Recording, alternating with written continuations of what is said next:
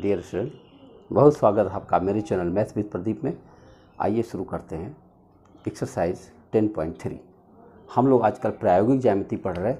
प्रायोगिक ज्यामिति में एक्सरसाइज 10.3 इसमें क्या हो रहा है आजकल कि हम लोग डिज़ाइन बना रहे हैं, त्रिभुज बना रहे हैं, रेखाएँ खींच रहे हैं, समांतर लाइन खींच रहे हैं, जो जो कहा जा रहा है, प्रकार की सहायता से, पटरी की सहायता से खींच रहे हैं।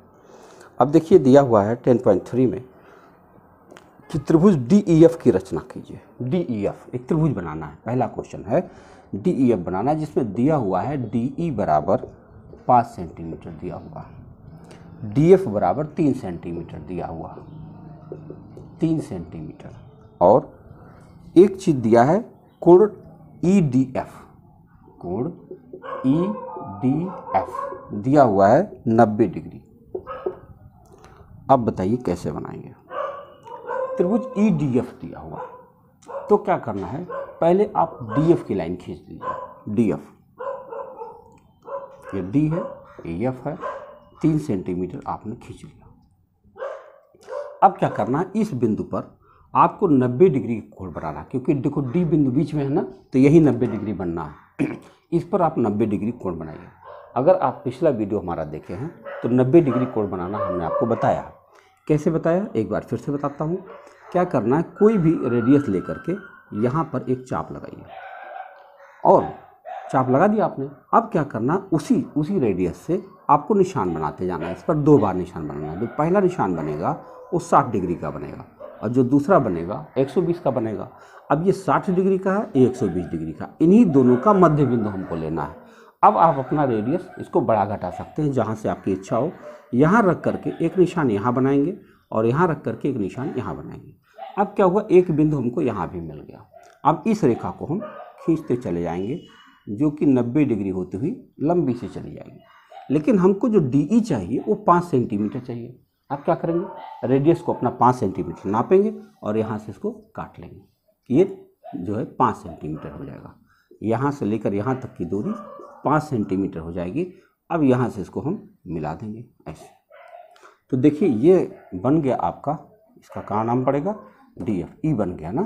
देखो, त्रिभुज ई डी एफ़ बन के तैयार हुआ। डी बिंदु पर 90 डिग्री का कोण है 90 डिग्री सिंबल ये है। ठीक है? ये पाँच सेंटीमीटर है, ये तीन सेंटीमीटर है, इसके बारे में दिया नहीं गया।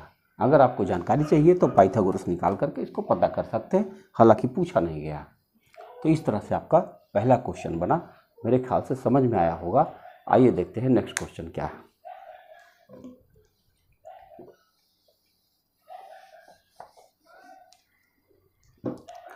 दूसरा सवाल है इसका। एक समद्विबाहु त्रिभुज की रचना कीजिए, जिसका प्रत्येक भुजा समान, प्रत्येक समान भुजा की लंबाई छः दशमलव पाँच सेंटीमीटर हो और उनके बीच का कोण 110 डिग्री का हो। वाह देखो जो समान भुजा है, वो है 6.5 सेंटीमीटर का। और उनके बीच 110 डिग्री का कोण हो। 110 डिग्री का कोण उनके बीच, मैंने किन के बीच? जो दोनों समान भुजाएँ हैं, उनके बीच का कोण जो है 110 डिग्री हो। यानी आपको अगर एक रफ चित्र हम बनाते हैं तो रफ चित्र कुछ ऐसे बनेगा, ऐसे। ये जो है छः दशमलव पाँच है, ये छः दशमलव पाँच है और ये कोण 110 डिग्री है। ये रफ चित्र बनाया, अभी बनाने का तरीका बता रहा हूँ। अब देखो कहाँ से शुरू कर सकते हैं आप। आप नीचे से भी शुरू कर सकते हैं 110 डिग्री से शुरू कर सकते हैं। और एक तरीका और है कि अगर ये 110 है, सपोज़ करो तो इसका मतलब ये दोनों 35 35 होंगे। होंगे कि नहीं होंगे? 35 35 होंगे? क्यों होंगे? अरे भैया 110 है, एक त्रिभुज 180 का होता है। ये दोनों कोण बराबर होंगे क्योंकि ये भुजा बराबर है। तो नीचे 35 35 के होंगे। होंगे कि नहीं होंगे अब क्या करना है? बहुत सिंपल है। देखो, बल्कि इधर से ही कर ले, काहे रिस्क कर ले, क्योंकि ये कितना बड़ा होगा, ढूंढना पड़ेगा, ना? इससे बढ़िया है 110 ही कर ले, क्या फ़र्क पड़ता है? तो हम क्या करते हैं पहले? देखो ऐसे, एक रेखा खींचते हैं छः दशमलव पाँच सेंटीमीटर का। खींच लिया?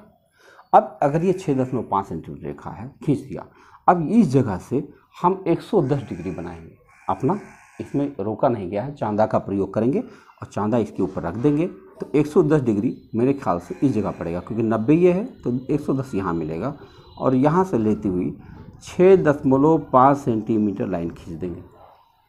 या कोई रेखा खींच देंगे, उसके बाद नाप लेंगे छः दशमलव पाँच यहाँ पर कहीं पर, मान लो इस जगह पे मिल गया, ये भी छः दशमलव पाँच हो गया और ये एक सौ दस ही है। अब इन दोनों को हम क्या करेंगे? मिला लेंगे ऐसे। तो आप देख सकते हैं कि दो रेखाएँ, क्या नाम है? दोनों समान भुजा इसका नाम तो रखा नहीं कुछ। चलो मैं रख देता हूँ। मान लो इसका नाम ए है, इसका नाम बी है, इसका नाम सी है। तो ए बी बराबर बी सी छः दशमलव पाँच छः दशमलव पाँच, ठीक है?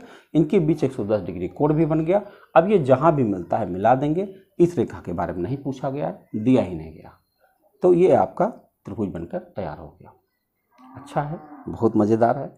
कहीं से भी बना सकते। मैं इधर से भी बनाने जा रहा था कि मान लो एक लबड़ी से रेखा, खींचे, यहाँ से पैंतीस डिग्री बना दे। तो यहाँ से पैंतीस बनाएँगे तो जहाँ पर ये जाएगा, छः दशमलव पाँच, वहाँ से फिर एक सौ दस नापना पड़ेगा। तो ये थोड़ा टेढ़ा काम था, दो जगह नापना पड़ जाता। तो इसलिए मैंने इसी तरह बना दिया। ये ज़बरदस्त त्रिभुज बन के तैयार हो गया आपका।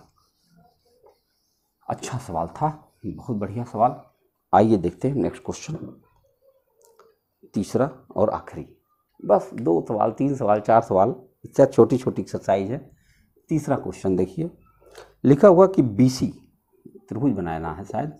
बी सी बराबर seven point five centimetre A C बराबर फाइव सेंटीमीटर और कोण सी बराबर साठ डिग्री। ऐसे लिखा हुआ एम कोण सी एम कोण सी बराबर साठ डिग्री। वाले त्रिभुज ए बी सी की रचना कीजिए। तो सी साठ डिग्री का है। तो एक काम करते हैं। देखो, यहाँ पर पहले ए सी खींच लेते हैं। ए सी और वो खींच लेते हैं फाइव सेंटीमीटर खींच लिया।